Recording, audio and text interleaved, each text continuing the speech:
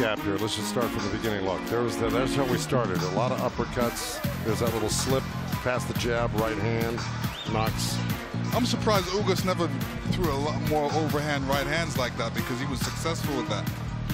Well, I think we're going to see a few more coming right about now. There's a nice little slip right to the belly. That's what I mean. He had all these cute little moves.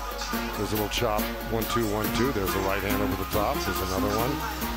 All three in favor of the winner of this WBC welterweight world title eliminator, Yordenis Ugas.